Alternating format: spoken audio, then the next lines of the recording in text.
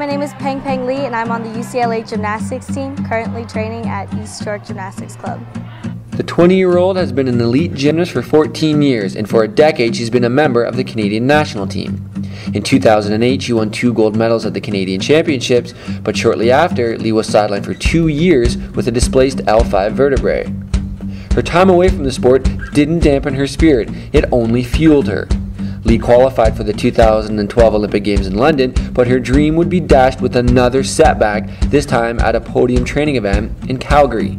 So vault was my last event and everything was going extremely well until vault and I um, tried to do a Yurchenko double twist, which is a layout on the vault with two twists and I came down and just landed wrong and my knee popped out. So I flew home and then I got an MRI done and they told me that I tore my ACL and that's when it all hit me, that I couldn't go to the Olympics and I was completely devastated. But Although Lee wasn't able to compete, she still traveled with the team as a supporter.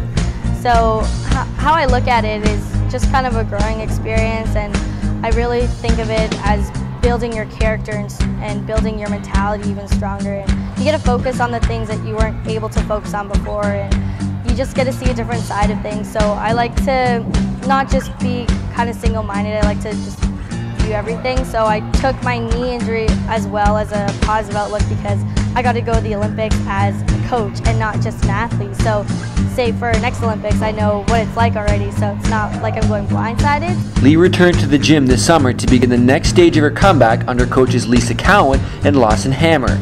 She looks forward to NCAA competition this fall and once again reaching the highest level of international gymnastics. I'm still kind of in that rehab stage and I'm just starting to get my skills back, so it's been a while. I haven't done gym in a really long time and I'm just so anxious to get back and extremely excited to compete for um, at UCLA because I know it's so much fun there, it's so much fun the States.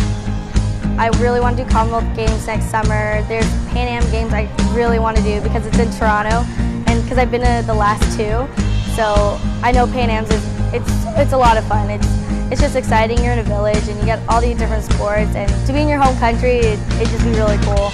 And I really want to go to 2016 Olympics. So that's kind of my goals right now.